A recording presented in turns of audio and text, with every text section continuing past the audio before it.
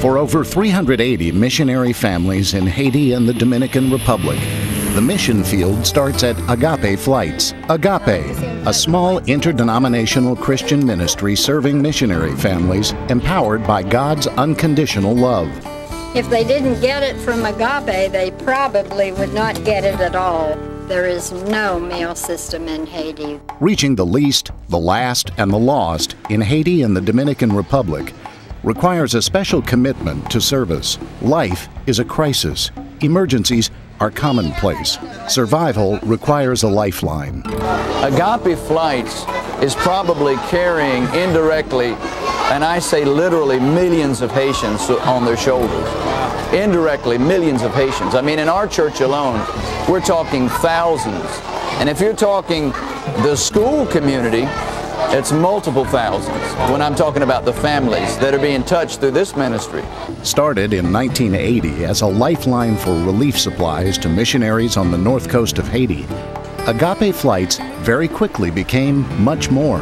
After about six or seven flights, the missionaries approached Keith and Clara Starkey, the founders, and uh, said, hey, if you're going to be coming on a regular basis, instead of bringing the stuff you are bringing, here's a list of stuff we'd really like to have. And uh, so uh, right there, Agape changed from uh, just loading the plane with any kind of supply to only carrying things that missionaries specifically asked for. We went to our board and we said, look, we need to start praying that if this is really God's will, that he's going to raise up people who will send donations in to support this ministry. And within several weeks, we started getting some checks in from people we didn't even know. And uh, evidently, missionaries had shared what was happening down there with their churches. And at that time, we just stepped back and said, look, it's not our ministry, it's God's ministry. It's in His hands. Whatever happens to it will be God's will. And that's the way we've operated. Agape Flights is an example of the way God extends His hands to reach people.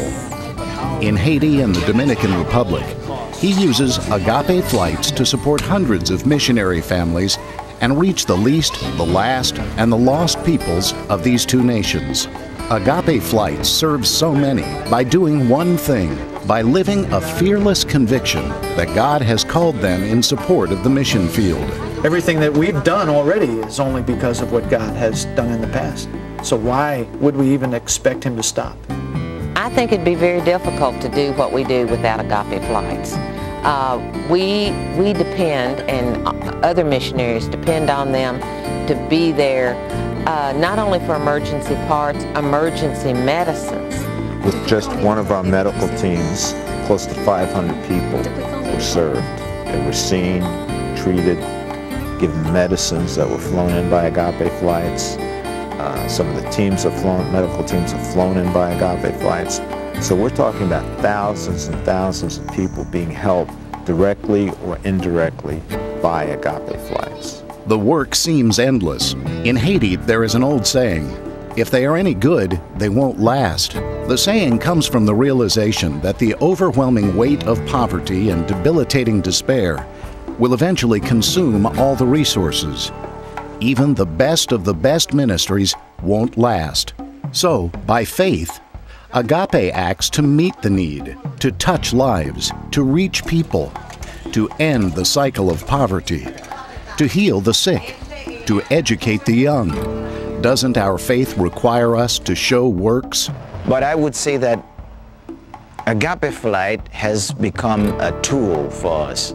And this morning, as I was thinking about some, so many things that Agape Flight does uh, in Haiti, I see Agape as uh, backup. Like whenever there is something in shortage in Haiti, you can always rely on them. The main thing that we were dependable. And no matter what, we would uh, almost kill ourselves to get there every week. But the reality is we have to be here 24-7 in order to respond to uh, the pressing needs and the, the, life issues that the missionaries face and believe that we can, uh, in some miracle way, resolve. And that includes everything from getting uh, emergency inoculation for rabies uh, to providing an anniversary gift uh, for a spouse. And they rely on us. They, they, be, they become uh, inexorably linked to this ministry uh, as a uh, supply line and as a relief center and as an administrative support center. And all of these activities are going on simultaneously.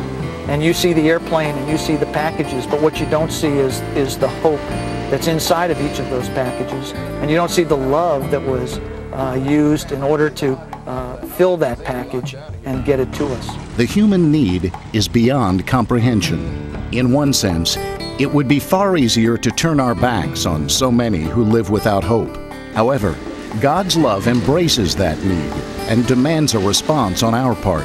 He asks us to look beyond what we take for granted. Agape Flights needs and appreciates the support it receives. The assignment, however, isn't done, and Agape needs additional help to carry out its life sustaining mission. The commitment is high and comes with a price we are all called to pay. Reaching the least, the last, and the lost is an assignment that needs you. Agape needs you. They need your prayers and your participation. They need your encouragement and your financial support. Truly, though, it is not just Agape Flights you support.